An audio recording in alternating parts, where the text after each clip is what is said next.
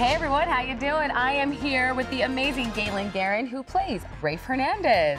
How are you? Oh, I'm feeling good. I'm a little nervous, You a but little uh, I'm ready to go. Let's Feeling go. good? Feeling confident? Yeah. All right, Galen, are you ready to play Beat the Hourglass? I'm ready. Here we go. First question. Who was Ray's first romantic pairing on Days of Our Lives? Sami Brady. Correct. How many times has Rafe been married? Uh, three. Correct. Who is John and Marlena's biological daughter? Um, their daughter, uh, Hope Brady. No. That is incorrect. That's I am right. No, sorry. What was Stefano's nickname? Stefano's nickname, the Phoenix. Yes. Name Rafe's three siblings.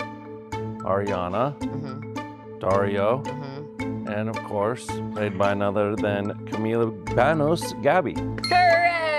Who killed Jordan Ridgeway? Oh God, who did? Um, Ben. His sister. Uh, was it Ben? No, that's incorrect. It was Evan or Christian. All right, go, go, go, Who go, go. did Sami shoot in the head? Uh, EJ. Yes. Who is the mayor of Salem?